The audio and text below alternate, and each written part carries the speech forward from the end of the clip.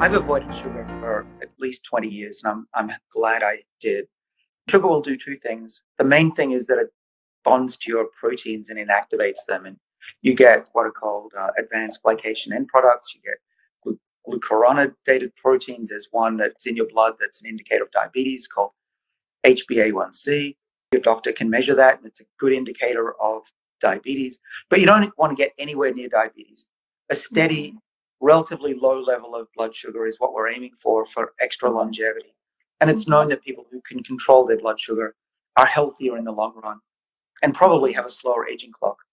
So avoid foods that have what's called a high glycemic index, spike your spike your blood sugar.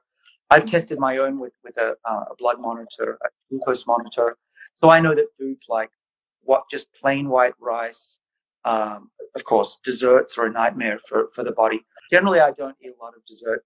And the other thing that sugar does is that it dampens your body's defenses against aging. When there's a lot of nutrients around, a lot of amino acids, particularly uh, leucine and serine, and a lot of sugar, your body doesn't defend itself. It, it believes that there's no reason to defend itself, and those defenses, such that we've talked about, the sirtuins, mTOR, AMPK, shut down when there's too much energy around, and so you don't want to get those spikes.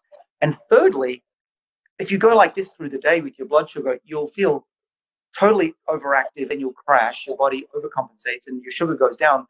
Then you feel tired, hungry, and have a brain fog much better to just eat smaller amounts. And actually, I, I prefer to eat very small amounts for breakfast and for lunch. Most of my calories at dinner